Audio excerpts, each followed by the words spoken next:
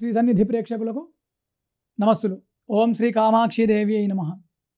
మంత్రశాస్త్ర వైభవము సాధనా రహస్యాలు అనేటువంటి ఈ కార్యక్రమానికి శ్రీ సన్నిధి ప్రేక్షకులకు స్వాగతం సుస్వాగతం. ఈ ఎపిసోడ్లో భాగంగా ఒక చిన్న విషయాన్ని మీ ముందుకు తీసుకువస్తా మిత్రులారా. ఈ విషయంలో ఎక్కడా వివాదము లేదు. శాస్త్రాన్ని దాని ప్రమాణాన్ని చూసి చదివే నేను ఈ ఎపిసోడ్ చేస్తున్నాను. అయితే ఏ శిష్యుడు యోగ్యుడో ఏ శిష్యుడికి ఏ యోగ్యత ఉందో అది విచారించేది శిష్యుడి యొక్క అర్హతను పరీక్షించేది అది ఉత్తమ గురు లక్షణం. అక్కడికి బాగుందండి. శాస్త్రంలో ఈ ఒక్క శ్లోకములో ఒక చిన్న ప్రమాణం చెప్పారు. మరి ఏ గురువు వద్ద నేను మంత్ర దీక్షను పొందాలి అనేటువంటిదే ఏ గురువు వద్ద మనము మంత్రదీక్షలు పొందాలి అనేటువంటిదే ఈ ఎపిసోడ్లో ఉన్నటువంటి ఆత్మ. అంటే ఇక్కడ మీకు సందేహం రావచ్చు. స్వామి గురువు అంటే ఉన్నతుడుగా ఉంటూ సర్వజ్ఞాన సంపదను కలిగి ఉంటూ శాంతి దయ కృప మనం చెప్పుకున్నట్టు అన్ని సుగుణాలు గురువుకు ఉన్నాయి కాబట్టి ఆ గురువు సర్వసమర్థుడు కాబట్టి సర్వజ్ఞుడు కాబట్టి సర్వశక్తివంతుడు కాబట్టి శిష్యులను పరీక్షించి ఏ శిష్యుడికి ఏ మంత్రం ఇవ్వాలో చెప్తారు కదండి. అక్కడికి బాగుందండి. కానీ ఏ గురువు దగ్గర మనము మంత్రదీక్షను పొందాలి అనేటువంటి విచక్షణ మన చేతిలో ఎలా ఉంటుంది అనేటువంటిదే పెద్ద ప్రశ్న. ఇక్కడ చూడండి మిత్రులారా సద్గురువు లక్షణాలు అని కూడా శాస్త్రము చెప్పిందండి. అంటే ఇక్కడ గురువులను నిర్దేశించడము కాదు ఈ ఎపిసోడ్లో ఉద్దేశం ఏ గురువు ఎట్లాంటి వాడో పొట్ట నిండా అన్నము తిని కాలక్షేపం కోసం ఏ గురువు ఎట్లాంటి వాడో అనేటువంటి చేసేటువంటి వ్యర్థ ప్రేలాపన గురించి ఈ ఎపిసోడ్ కాదు. శాస్త్రము ఏం చెప్పింది? అంటే ఏ గురువులను మనం ఆశ్రయించాలి? ఎవరి వద్ద మనము ఉపదేశ దీక్ష మంత్రదీక్ష పొందాలని చెప్పి శాస్త్రమే శివుడే చెప్పాడండి. అంటే ఇక్కడ గురుస్థానం గురించి మాట్లాడే మాట మనది కాదు మిత్రులారా.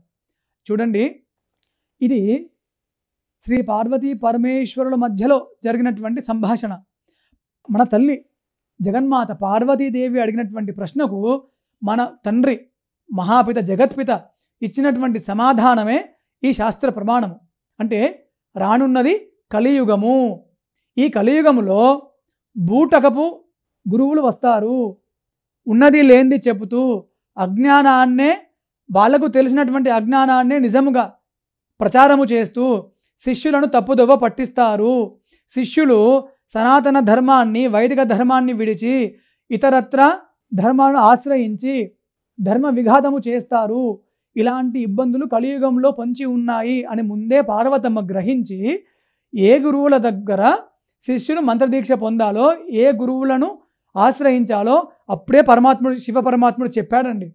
ఆ ప్రమాణమే మీకు చెప్తున్నాను. ఇప్పుడు చూడండి నేను చెప్పిన నాలు అబద్ధం ఉందా? లేదు కదా? శ్రీ పార్వతీ పరమేశ్వరులు అప్పుడు కలియుగం కలియుగం గురించి వాళ్ళు ఊహించిన మాట అబద్ధము కాదు కదా? ఇప్పుడు మనం చూడట్లేదా మిత్రులారా? ఇప్పుడు మనం చూడట్లేదా? శాస్త్రానికి దూరంగా ఉంటూ శాస్త్రాన్ని విఘాతపరుస్తూ దైవాన్ని దూషిస్తూ కొత్త కొత్త విద్యలండి. మరి ఇవన్నీ ఇలాంటి విద్యలు ఉన్నాయా సనాతనంలో? మరి ఇలాంటి విద్యలు నేర్పే గురువులు సద్గురువుల ఇలాంటి దాని గురించే పరమేశ్వరుడు చెప్పినటువంటి ప్రమాణము. ఇక్కడ చూడండి గురువుకు ఏ లక్షణాలు ఉండాలి ఏ ఏ లక్షణాలు ఉన్నటువంటి ఉత్తముణ్ణి మనము గురువుగా భావించి వారి దగ్గరికి వెళ్ళి వారిని శరణు వేయాలని చెప్పి శాస్త్రం చెప్పిందండి. ఏమని? బహుతంత్రవి తనకు పదప్రయోగం చేసింది. అన్ని మంత్రతంత్రాల పట్ల అవగాహన కలిగి ఉండాలి. సర్వజ్ఞత సుముఖ స్వచ్ఛ అంటే సుముఖత స్వచ్ఛత శాస్త్ర పరిజ్ఞానము నిరాపేక్ష అంటే ఇప్పుడు చూడండి మనం కొంతమందిని చూస్తున్నాము. ఎంతసేపు శిష్యులను ఎలా దోచుకోవాలి? అనేటువంటి గురువుల్లోనే గురువులను మనం చూస్తున్నాము. మంత్రాలను అమ్ముతున్నారు కదా. ఇవన్నీ ఉంటాయి కాబట్టే జగత్పిత పరమేశ్వరుడు మనకు మర్యాద చెప్పాడండి. అందుకే ఏ ఉత్తమ భావనలు ఉన్నటువంటి సద్గురుమూర్తి కాళ్ళకు మనం వెళ్ళాలా? ఎవరు సద్గురువులుగా కీర్తించబడతారో చెప్పారండి. సుముఖంగా ఉండాలి స్వచ్ఛంగా ఉండాలి శాస్త్రం పట్ల అవగాహన ఉండాలి మంత్రతంత్ర వినియోగాల గురించి వాటి పరిశోధన గురించి అవగాహన కలిగి ఉండాలి. ఇది ఇంకో ఇంకో గుణము. తర్వాత సర్వజ్ఞత ఉండాలి. తర్వాత మనోనేత్ర వికసనం ఉండాలి. తర్వాత వేద శాస్త్ర ఇతిహాసాల గురించి పట్టు ఉండాలి. ఇక తర్వాత ఇప్పుడు మనం ఇంతకుముందు చెప్పుకున్నటువంటి సిద్ధారి శోధన గురించి రుణధన శోధన గురించి సిద్ధారి చక్రం గురించి కులాకుల చక్రం గురించి తెలిసిన వాళ్ళై ఉండాలి.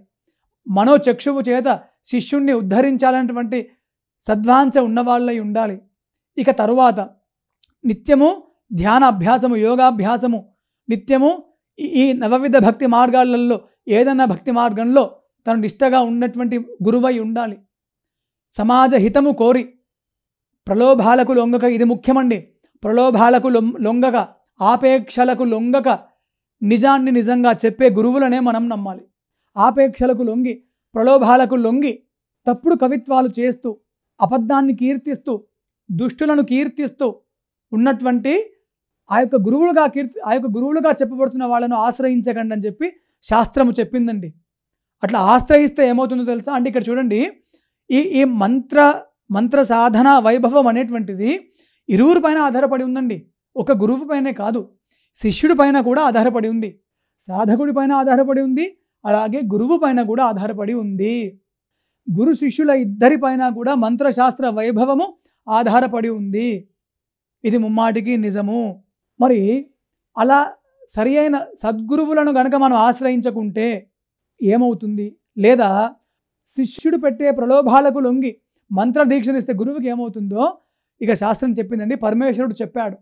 అంటే గురువు శిష్యులు ఇద్దరు కూడా గురువు శిష్య పరీక్ష చేయాలి. దీక్షను పొందే పొందగోరే కంటే ముందు దీక్షను పొందగోరే కంటే ముందు శిష్యుడు కూడా ఎవరు సద్గురువో పరీక్షించుకోవాలి. ఇక్కడ ఇంకో రహస్యం చెప్తాను ఇంకో రహస్యం చెప్తాను. వినండి మిత్రులారా. మనము ఇక్కడ చెప్తున్న మాట గురు పరీక్ష కాదు. ఎప్పుడు గురు పరీక్ష అవుతుంది? నీకు ఉపదేశం ఇచ్చిన తర్వాత నీకు మంత్ర అనుజ్ఞ ఇచ్చిన తర్వాత. అప్పుడు కదా ఆ వ్యక్తి గురువు అయ్యేది. అంతకంటే ముందు ఒక ఉన్నతుడి కిందనే ఉంటాడు కదా.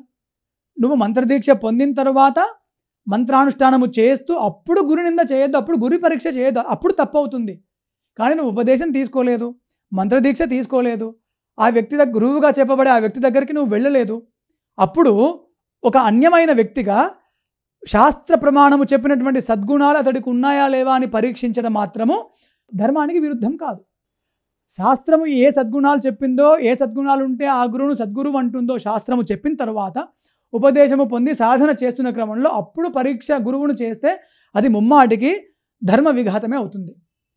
ఇప్పుడు మనం చేసేది ఉపదేశము తీసుకునే కంటే ముందు ఎవరు సద్గురువులో మనము శాస్త్రాన్ని ఆధారంగా చేసుకుని శివుడికి ఏ విషయాలు చెప్పాడో ఏ సద్గుణాలను శివమూర్తి చెప్పాడో పరమేశ్వరుడు చెప్పాడో వాటిని చూస్తూ మనం పరీక్షించుకుంటాము. ఇది ఒక విధమైనటువంటి శాస్త్ర సమ్మతమైన పరీక్ష. ఇంకొకటండి. జగద్గురువులను పీఠాధిపతులను మఠాధిపతులను ఆశ్రమాధిపతులను మనం పరీక్షించవద్దు. అది ముమ్మాటికి ధర్మానికి విఘాతమే ధర్మానికి వ్యతిరేకమే. ఎందుకంటే మిత్రులారా జగద్గురువు స్థాయి ఊరికనే రాదు. కోట్ల కోట్ల కోట్ల కోట్ల జన్మల సంస్కారము చేత జగద్గురువు స్థాయి వస్తుందండి. పీఠాధిపతి స్థాయి వస్తుంది. ఎన్ని ఎన్ని కోట్ల అన ఎన్ని లక్షల కోట్ల జన్మల కర్మలు దహించబడితే కదా వాళ్ళప్పుడు పీఠాలకు ఆశ్రమాలకు మఠాలకు అధిపతులుగా అవుతారు. వాళ్ళను మనం పరీక్షించవద్దు. నిస్సంశయంగా వాళ్ళ దగ్గరికి మనం ఆశ్రయించగలిగితే వాళ్ళ పాదములను మనం పట్టుకుంటే తప్పకుండా మన ఉదాహరణను వాళ్ళు కోరుతారు. ఎందుకంటే పీఠాధిపతులకి కానీ మఠాధిపతులకు కానీ ఆశ్రమాధిపతులకు కానీ జగద్గురు స్థానంలో ఉన్న వాళ్ళకి కానీ స్వార్థం ఉండదు. వాళ్ళకు ఉండేది ఒకటే విశ్వమానసం. అందరూ బాగుపడాలి. సర్వే జనా సుఖినోభవంతో అని అంటారు వాళ్ళు. కాబట్టి అలాంటి విషయాల్లో పరీక్ష చేయవద్దు. ఇక మిగతా విషయాలలో ఉపాసకుల దగ్గరికి వెళ్ళి మనం మంత్రదీక్ష పొందాలంటే ఎవరు సద్గురువులో మనము చూసేటువంటి కొన్ని విధానాలు ఇప్పుడు చెప్పారో మీకు చెప్పానండి. ఇక్కడ చూడండి శాస్త్రం ఇంకో మాట కూడా చెప్పింది. ఏమని? గురు శిష్య ఉభౌ మోహాదపరీక్ష పరస్పరం. ఉపదేశం తదన్ గృహ్ణాన్ ప్రాప్నుయాతాం పిశాచతాం అని చెప్పింది శాస్త్రము. ఇది శాస్త్రము జుల్పించినటువంటి కొరడ శాస్త్రము చెప్పినటువంటి శాసనము. ఈ శాస్త్ర ప్రమాణం ప్రకారము శివుడు ఏం చెప్పాడు? పరమేశ్వరుడు ఏం చెప్పాడంటే గురువు శిష్యుడిని శిష్యుడు గురువుని తప్పక పరీక్షించుకోవలను. ఇక్కడ మళ్ళీ మళ్ళీ చెప్తున్నా గురువును శిష్యుడు పరీక్షించడము అంటే సుగుణాలు ఉన్నాయని మనము తెలుసుకున్న తర్వాత మంత్రదీక్ష పొంది సాధనల మధ్యలో పరీక్షించడం కాదు. జగద్గురువులను పీఠాధిపతులను ఆశ్రమాధిపతులను పరీక్షించడం కాదు. ఇక్కడ గురు పరీక్ష అంటే ఆ గురు పరీక్ష కాదు. గురువుగా చెప్పబడుతున్నటువంటి ఎవరి వద్ద సుగుణాలు ఉన్నాయో శాస్త్రం ఏ సుగుణాలు ఉంటే ఒక వ్యక్తి సద్గురువుగా చెప్పబడతాడో ఆ గుణ పరీక్షనే ఇక్కడ. శిష్యుడు చేయాలి గురువు చేయాలని చెప్పింది. తర్వాత ఏం చెప్పింది? ఈ విధంగా గనక ఒకరినొకరు పరీక్షించుకోకపోతే ఈ విధంగా గనక ఒకరినొకరు పరీక్షించుకొనక ఉపదేశ ఉపదేశం ఇచ్చి- ఈ విధంగా పరీక్షించుకోక ఉపదేశం ఇచ్చిన ఉపదేశము తీసుకున్నా ఈ సందర్భం జరిగిన ఎడల ఏమవుతుంది? ఆ గురు శిష్యులు ఇరు ఇరువురు పిశాచత్వమును పొందగలరు అనే ఈ- ఈ శాస్త్ర ప్రమాణం యొక్క భావము. కాబట్టి మిత్రులారా ఈ ఎపిసోడ్ యొక్క భావాన్ని సహృదయంగా మీరు గైకోనండి. నేను చెప్పేది ఒక్కటే.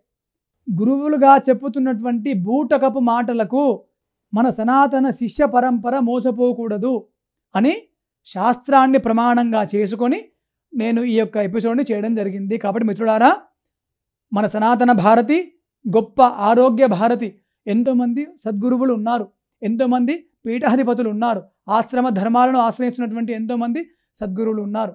వారి దగ్గరికి వెళ్ళి మనము విశ్వ కళ్యాణ వాంఛను మనం గుండెల్లో పెట్టుకొని వారు ఉపదేశం అడిగితే వాళ్ళు తప్పకుండా మంత్రదీక్ష ఇస్తారు ఇస్తారు మిత్రులారా. దీనిలో సందేహము లేదు. తప్పకుండా గురువులు మంత్రదీక్ష ఇస్తారు. ఈ చక్కటి విషయాన్ని తెలిసే అవకాశం ఇచ్చినందుకు అందరికీ మరొకసారి నమస్తులు సర్వే జనా సుఖినో భవంతు మీ శివప్రసాద శాస్త్రి